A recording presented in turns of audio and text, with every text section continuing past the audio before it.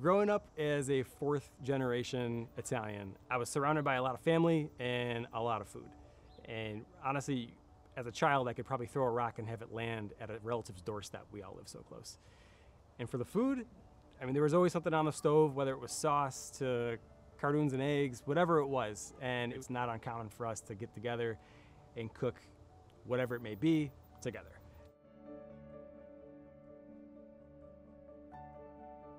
For me, food fosters community and a sense of family because honestly, there's so many tastes and smells that spark emotion and memory and whatever it may be. And you could take a bite of something and think back years ago to you know, your grandmother's kitchen or whatever it may be. In 2007, my mom was diagnosed with stage four leukemia. Um, it was the most terrifying time um, of all of our lives. And it made me realize at that point that you don't know what the next day brings. You don't know what the next moment brings. Luckily, in January of 2008, she received the bone marrow transplant and she's been in remission ever since. It really emboldened the importance to me of cherish every moment that you have. You don't know what the next day brings. The most important factor that I look for in a company that Geico delivers on is the support.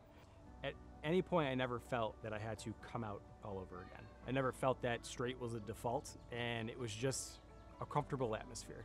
As people found out over time through organic conversation, nobody batted an eye, and that honestly means the world.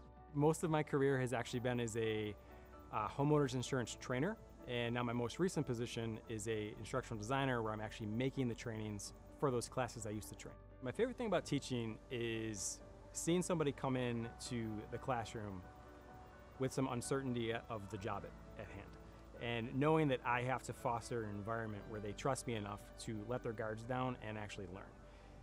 The big thing is I tell people is that you can do hard things and to always reflect back, whether it be a month, a week, or even a day, and just remember what you've already learned because you're already that much stronger. And watching them grow and have that, that click of that aha moment is by far my favorite thing.